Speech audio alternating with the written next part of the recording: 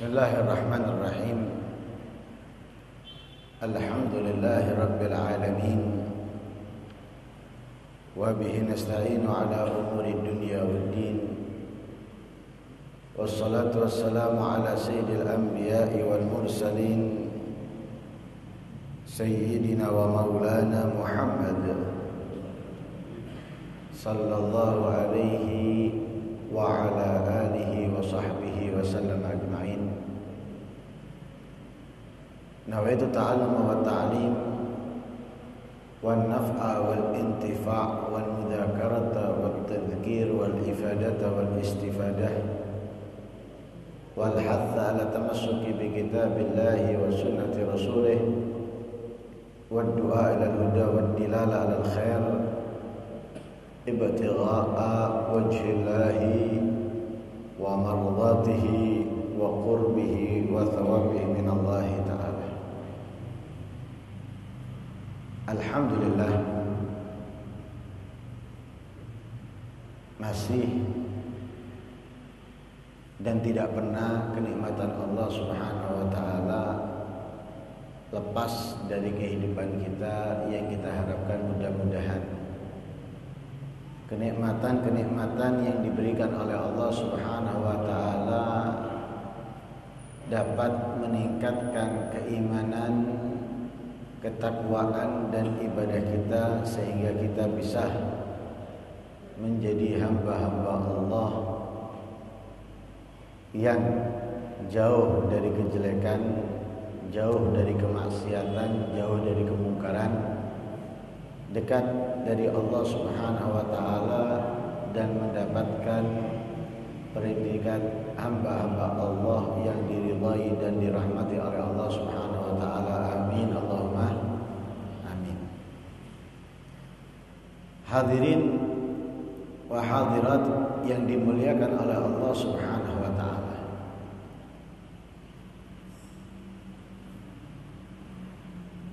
Nabi sallallahu alaihi wasallam mengajarkan kepada kita kebaikan ketaatan dan memperingatkan kepada kita untuk menjauh dari kemaksiatan dan kejelekan. Karena kebaikan memberikan kebahagiaan kepada kita di dunia maupun di akhirat menjauhkan dari kegundahan dan kegalauan atau keresahan di dalam hati kita, jiwa kita. Adapun kemaksiatan, kejelekan sekalipun nampak nikmat di mata manusia, sekalipun nampak bahagia ketika dilihat, akan tetapi di dalam hatinya terdapat keresahan dan kegundahan yang membuat dia ingin terbebas, terlepas dari kejelekan itu, akan tetapi nafsu yang mengalahkannya.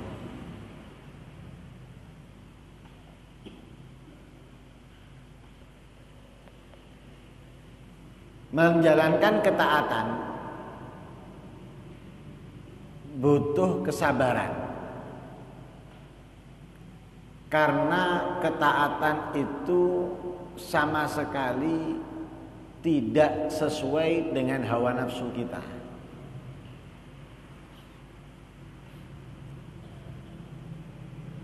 Karena tidak sesuai, maka menjalankan ketaatan apalagi mengistiqomahkannya itu tidak mudah, tidak gampang. Akan tetapi bila dia bisa mengistiqomahkan kebaikan tersebut itu jauh lebih baik daripada orang yang memiliki seribu karomah. Nah, itu perkataan para ulama al istiqomatu khairun min alfi karomah. Istiqomah itu lebih baik. Bukan sama baiknya, lebih baik, luwe api. Daripada seribu karomah. Lebih bagus. Karena karomah itu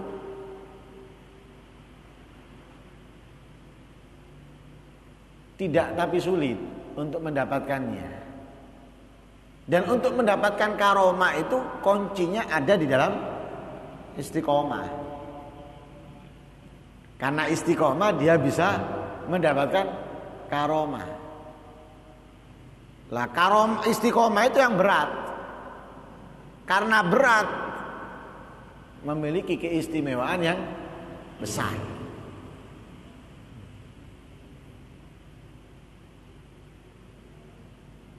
Kalau kemaksiatan, kalau kejelekan sesuai dengan hawa nafsu.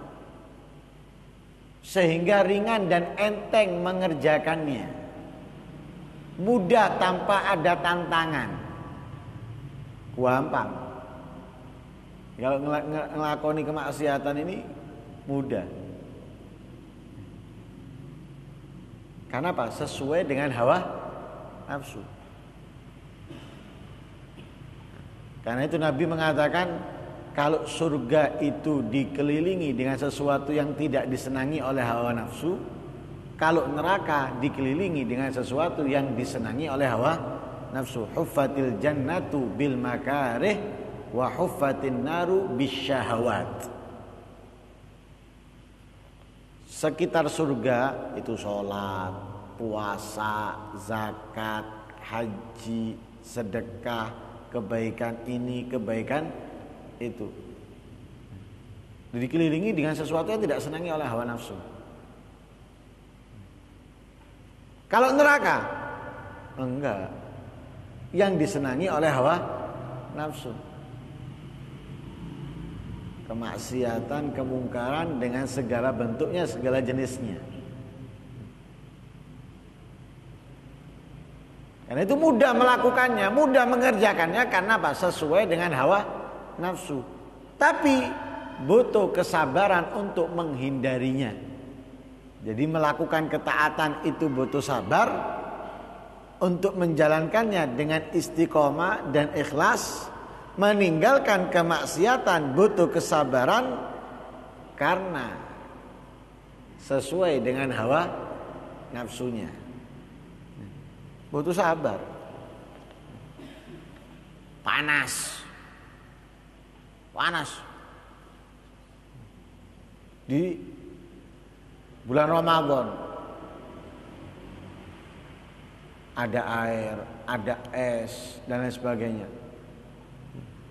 Ini kalau dia nggak sabar, dia pasti akan membatalkan puasanya tanpa pertimbangan yang macam-macam. Bahkan membuat membuat alasan yang diada-adakan. Minum, membatalkan puasanya. Enggak ngombe ngelak mati aku. Kewaring ring tenggorokanku. Padahal kalaupun ia puasa tidak ada masalah. Kering bagaimana sih coba?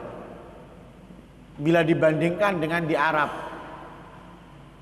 yang pernah dialami oleh Rasul Shallallahu Alaihi Wasallam di peperangan Khandaq. Panas, membuat parit, dan Nabi dalam keadaan sangat lapar sehingga mengingatkan beberapa batu di perutnya. Tapi Nabi tidak meninggalkan puasanya, tidak meninggalkan kebaikan ketaatan yang lainnya. Sama di tengah peperangan Badar yang terjadi di dalam bulan Ramadan. Perang, perang. Bukan perang-perangan, perang temenan ini. Nabi dalam keadaan puasa tidak meninggalkan puasanya. Nah, itu butuh kesabaran. Kalau nggak sabar, sudah dilakukan, sudah ditinggalkan puasa. Butuh kesabaran melakukan ketaatan. Meninggalkan kemaksiatan juga butuh kesabaran. Sama-sama butuh kesabarannya. Lah kalau kita bisa menjalankan ketaatan dengan kesabaran, menekuninya, mengistiqomainya, kita akan menjadi orang yang beruntung. Kapan? Di dunia maupun kelak di akhirat. Tapi kalau tidak sabar menjadi orang yang celaka dan binasa di dunia maupun di akhirat. Nauzubillah min. Karena itu ketaatan yang kita lakukan itu harus selalu meningkat.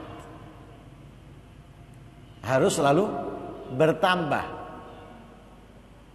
Jumlah atau kualitasnya. Kalau tidak bertambah jumlahnya, kualitasnya tambah baik. Bertambah bagus. Dari tahun ke tahun atau dari hari ke hari. Jangan malah justru kebaikannya tidak bertambah, kualitasnya apalagi jumlahnya. Atau bertambah jumlahnya tapi kualitasnya tidak. Jangan. Karena untuk menjadi orang yang beruntung sebagaimana disabdakan oleh Rasul sallallahu alaihi wasallam, "Man kana yaumuhu khairam min amsih fahuwa rabih." Siapa orang yang hari ini lebih baik dari hari kemarin, maka dia adalah orang yang beruntung. Lah lebih baik itu ketaatannya bertambah jumlahnya atau meningkat kualitasnya. Kalau kemarin sholatnya nggak khusyuk sama sekali, hari ini mulai khusyuk walaupun takbiratul ihramnya. Kalau kemarin memanjatkan doa tanpa konsentrasi sehingga tidak mengetahui apa yang dia ucapkan, apa yang dia minta. Hari ini dia memanjatkan doa dengan konsentrasi sehingga dia tahu apa yang dia minta, apa yang dia inginkan. Ini berarti apa? Jumlahnya nggak berbeda, sama dengan kemarin, tapi kualitasnya membaik. Itu berarti ada peningkatan atau jumlahnya ditambah. Jumlahnya ditingkatkan. Biasanya membaca istighfar setiap harinya 100 tingkatkan. Menjadi 101. Lah ningkatkannya tidak usah banyak-banyak. Mulai meni aku rongatus. Saiki satu meni rongatus ojo ake-ake, ojo mengiti. Mengiti ya anu kuat 200. Engko mek sak minggu to. Mari sak minggu balik 100 meneng. Lek balik 100 meneng sik lutung. Lek ditinggal ndak blas. Iki sih bahaya. Karena biasanya orang itu kalau sudah menambahnya melampaui batas, itu biasanya bukan dikurangi malah ditinggal no kabeh. Makanya sing enak tambah ono setitik aja. Tambah sedikit tambah sedikit. Lah ketika kita menambah sedikit tapi rutin itu lebih baik daripada banyak tapi berhenti di tengah jalan karena yang kita kerjakan ini bukan untuk satu hari dua hari tapi untuk sepanjang hidup kita. Lah kalau untuk sepanjang hidup kita maka tambahnya satu demi satu. Sedikit demi sedikit tapi menjadi rutinitas kita sampai akhir hayat kita. Lu nambahnya dari saat dari 100 ningkat mek siji tok, ndak antep. Ndak soro. Astagfirullah, astagfirullah, astagfirullah ping 100. Mari ngono besok tambah 100 siji. Astagfirullah, astagfirullah, 100 siji. Tapi mbene nambah meneng siji 102. Ndak kerasa tambah banyak tambah banyak tapi dikit demi sedikit loh pepatah lama pepatah apa pepatah kuno yang dulu menjadi disampul buku-buku anak sekolah itu. Eh, dikit demi sedikit lama-lama menjadi bukit. Jangan meremehkannya sedikit. Masjid ini gede itu kok duit akeh. Dari sedikit uang nyumbang sewu, uang nyumbang rongewu, ada yang sepuluh ribu. Dari sedikit terkumpul menjadi banyak. Tadinya sedikit. Sama amal ibadah kalau tadinya sedikit, tapi kita tambah dikit demi sedikit, lama-lama ya juga banyak. Akhirnya apa? Terus sebagaimana Nabi Shallallahu Alaihi Wasallam bersabda, ahabbul a'mali ilallahi adwamuha wa in qalla. Katanya Rasulullah paling dicintainya amal perbuatan oleh Allah itu yang rutin yang istiqomah, yang selalu. Sekalipun nggak banyak, sekalipun sedikit, setiti, tapi bendino, luwe api, ketimbang akeh sak tahun pisan, apalagi seumur hidup sekali.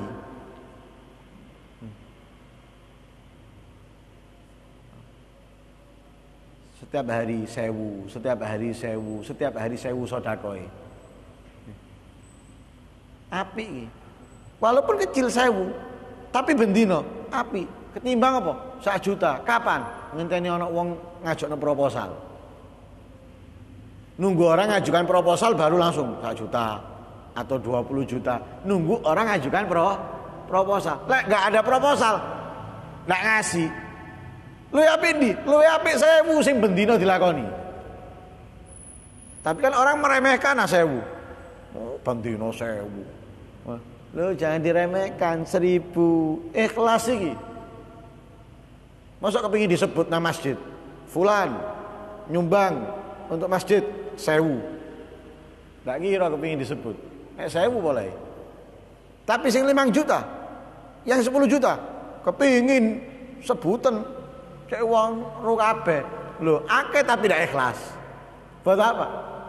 Mendingan sing sewu kita tapi mendino, mendino sewu. Lu api. Tapi rutin. Dari sejak dia remaja sampai tua. Bendino sewu sodakoi. Api. Daripada yang sewaktu-waktu walaupun besar. Sewaktu-waktu walaupun besar. Lebih baik sedikit. Tapi rutin. Dan itu sesuai dengan apa yang disabdakan oleh Nabi. Ahabul a'mali ilallahi adwa muha wa'in Makanya kita nambahnya tidak usah banyak-banyak. Nambahnya tidak usah kakek. Biasa mau coba istighfar satu tambah no siji. Rutin tambah no meneng siji. Rutin tambah no meneng siji. Tidak usah nambahin langsung sepuluh, tidak usah kaken. Siji, siji, siji. Engkau jadi rong atus. Siji, siji, siji, siji jadi satu. Telung atus meneng. Siji, siji, sampai akeh. Tapi kita mengerjakannya nggak berat enteng, ringan. Nambah apa ndak akeh. Usung-usung barang itu. Biasa limo, tambah ono siji. Rodo antep, rodo antep. Kenapa? Biasanya lima, ditambah siji, rodo antep. Jarno wis enam itu. Angkatan. Enam, enam, enam. Sesuai enteng enam itu. Tambah ono meneng siji. Ojo langsung loro, loro paling kuat aku, loro, loro. Ojo. Enggak ngangkat ping pingsan ping duh, mantep kurang ono nemai. Mang jauh tambah loro jadi pitu. Tambah loro keantepen jauh dikurangi. Lo ngurangi akhirnya. Mestinya apa? Lebih baik kok malah menurun. Ibadah kita juga gitu ibadah kita ini hari ini harus lebih baik. Meningkat dari kemarin jangan malah menurun. Makanya untuk supaya meningkat nambahnya itu sedikit demi sedikit jadi meningkat. Oh. Akhirnya menjadi orang yang beruntung karena apa? Ibadahnya terus meningkat. Nambahnya sedikit demi sedikit. Lah kalau hari ini lebih jelek dari kemarin. Hari ini lebih jelek dari kemarin.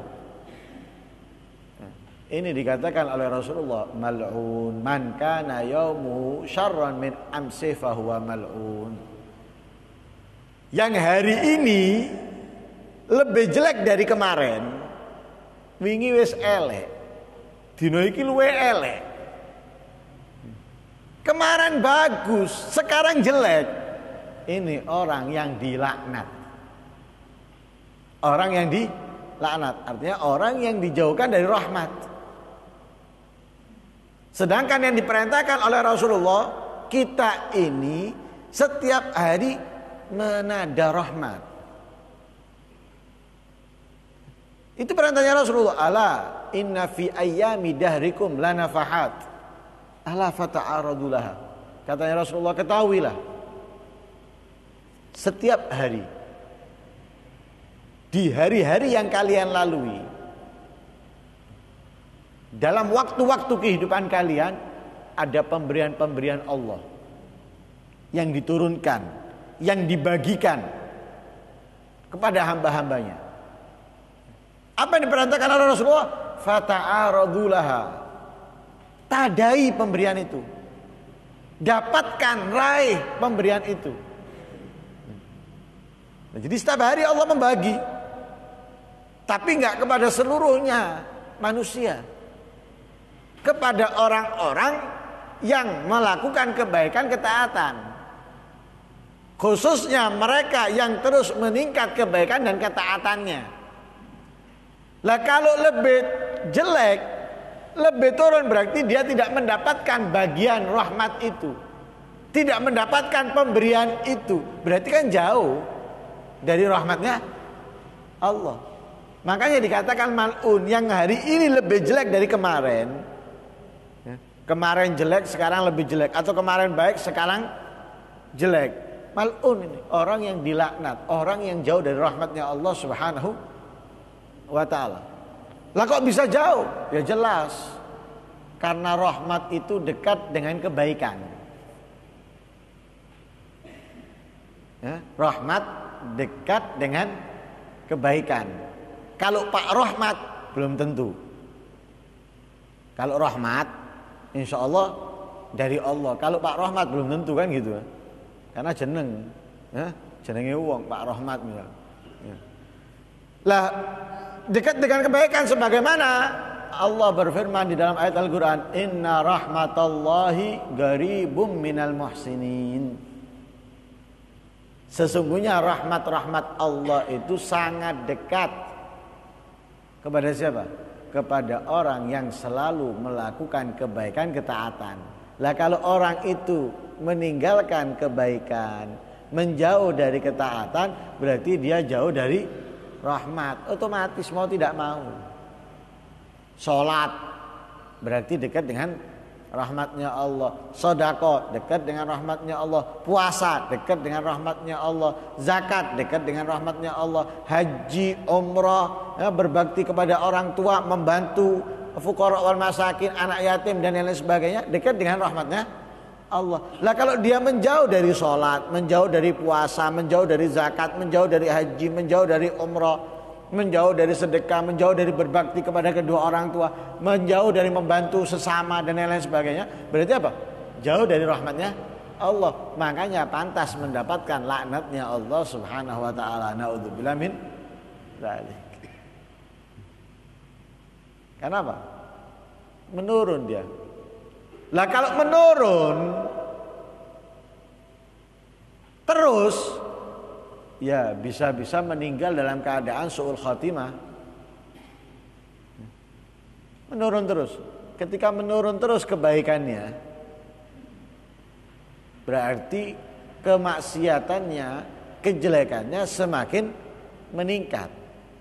Ketika kejelekan kemaksiatan semakin meningkat dari dirinya, maka keimanannya semakin berkurang.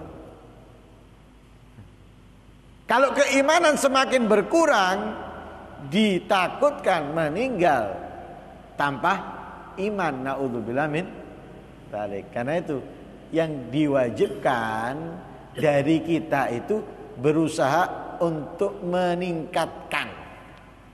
Bukan menurun, tapi meningkatkan. Jangan sampai turun. Wong sama aja sama. Kemarin sama sekarang sama. Dikatakan rugi. Kemarin sama sekarang sama. Plek podo. Ndak buat. persis. Kemarin istighfarnya 100, sekarang 100. Kualitasnya sama. Jumlah sama, kualitasnya sama. Dikatakan rugi. Dikatakan rugi. Man kana yaumuhu mithla amsi fahuwa maghbunun. Orang yang hari ini persis sama dengan kemarin maka itu adalah rugi. Karena orang dagang itu satu di antara dua, orang berbisnis satu di antara dua, antara untung antara rugi. Balik bondo itu tidak ono. Balik bondo itu adalah kerugian. Balik bondo di dalam perbisnisan, di dalam perdagangan itu rugi. Tapi kadang orang mengatakan bukan rugi-rugi itu. Rugi waktunya. Dia belanja barang. Kembali yang dihitung sama dia kan nominal uangnya saja. Uh, harga barangnya sekian, dia jual sekian. Dihitung ambil duit pulang pergi nih pok wes. Ndak rugi aku, pok. Ndak ada rugi. Waktu terbuang. Untuk belanja. Untuk pulaan. Rugi.